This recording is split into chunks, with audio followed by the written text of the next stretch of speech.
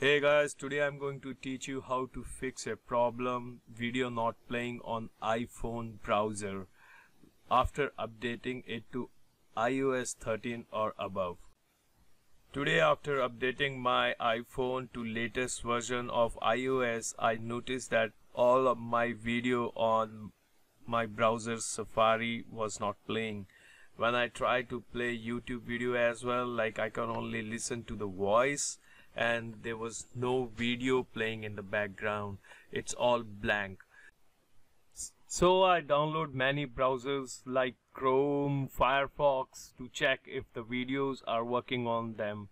But the result was same. There's only audio. There was no video on any of the browsers. I tried many browsers. Finally finally I found a browser called UC browser this browser this is the only one browser currently working on iOS 13 so I download it. It's already downloaded and I try to play a video and it worked. This is a temporary solution. There's a bug on iOS 13 and above. So this is the best solution I found out. So this will fix the problem temporarily. Hope Apple will fix this bug as soon as possible so hope this video will help you out guys. If this video helped you out guys to like and subscribe my channel. That helps me a lot. Thank you for watching my video